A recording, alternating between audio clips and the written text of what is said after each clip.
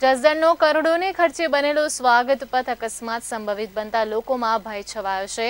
આ રોડ અમદાવાદને જોડતો હોવાથી દરરોજ હજારો વાહન પસાર થાય છે. છતાં જસદણ નગરપાલિકા તંત્રના પેટનું પાણી પણ હાલતું નથી. જસદણમાં વિંછિયા રોડ ઉપર ત્રણેક મહિના પહેલા રૂપિયા એક કરોડને ખર્ચે રાહદારીઓ અને વાહન ચાલકોની સુખાકારી માટે નવો રોડ નગરપાલિકા દ્વારા બનાવવામાં આવ્યો હતો. પરંતુ લોકોની સુખાકારી માટે બનાવવામાં આવેલા રોડમાં કોન્ટ્રાક્ટરે બેદરકારી દાખવતા હાલ આ રોડ અકસ્માત સંભવિત બની જવા પામતા લોકોમાં અકસ્માતનો ભય ફેલાયો છે.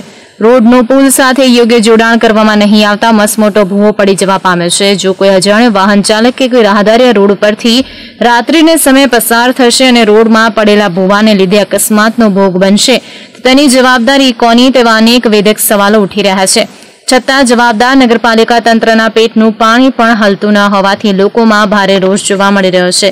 જેથી જસદણ નગરપાલિકાના જવાબદારો દ્વારા તાકીદે જસદણના સ્વાગત પથ પર પડેલા જીવલેણ ભુવાને પુરવાની અને રોડના કામમાં બેદરકારી દાખવનારા કોન્ટ્રાક્ટર સામે કડક કાર્યવાહી કરવામાં આવે તેવી આ રોડ પરથી પસાર થતા દરેક રાહદારીઓ અને વાહન ચાલકોની પ્રબળ માંગણી ઉઠવા પામી છે.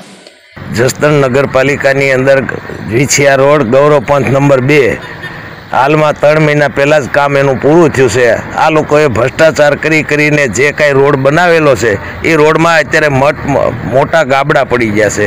એ જસદણ નગરપાલિકાના ચીફ ઓફિસર કે એના આગેવાનોને કે જસદણના કોઈ પણ ભાજપના આગેવાનોને દેખાતું નથી. આયા અકસ્માત થાય ત્યારે તેની જવાબદારી કોની?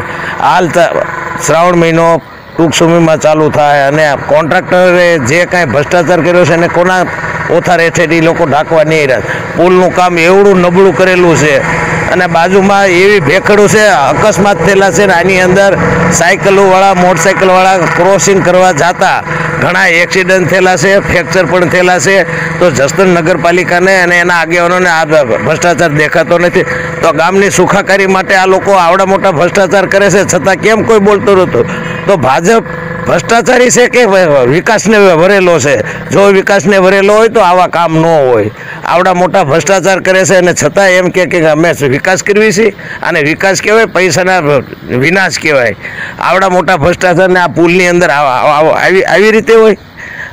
અને આ સ્લમ વિસ્તાર છે. સ્લમ વિસ્તારની અંદર નાના બાળકો રમતા રોડની સાઈડની અંદર મોટી મોટી ભેખડું પડેલું છે. એ પણ છતાં જસદણ નગરપાલિકાના કરો ચીફ ઓફિસરને કે એના આગેવાનોને, એના કાર્યકરોને, એના સદસ્યોને નથી દેખાતું. આ શેરીએ શેરીએ ભાટકવાની રહેશે સભ્ય કરવા એ એને દેખાય છે. અને આવડા આવા ભ્રષ્ટાચાર નથી દેખાતા. આ રોડ ગૌરવ પંથ છે. ગૌરવ પંથની અંદર હાલમાં રોડમાં એવડા ગાબડા છે કે ના ટાસ નાખવા પડે. હવે ત્રણ મહિનામાં જો કરોડોના પાણી થઈ જતું હોય, તો આમાં ભ્રષ્ટાચાર કરવામાં કાંઈ બાકી નથી રાખ્યું એવું પ્રજા સમક્ષ અમે એને નક્કી કરી દઈએ છીએ કે આ લોકોએ ભ્રષ્ટાચાર જ કર્યો છે આની કોઈ તપાસ કરવાવાળો નથી. તપાસ કર્યા પછી કોઈ પણ કોન્ટ્રાક્ટરને, કોઈ પણ નેતાને અત્યાર લગીનમાં સજા થઈ હોય એવો દાખલો નથી. આ વીસ વર્ષની અંદર કોઈ દી ભ્રષ્ટાચાર કરવો એ ભાજપનું મેન સૂત્ર છે. વિકાસ કરવો નહીં, વિનાશ કરવો એ એનો મેન મુદ્દો છે.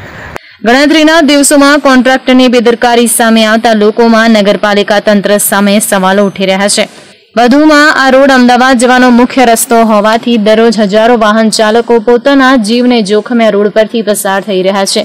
આ રોડની દુર્દશાને જોતા એવું લાગી રહ્યું છે કે જસદણ નગરપાલિકા તંત્ર કોઈ ગંભીર અકસ્માતની રાહ જોઈ બેઠું હોય.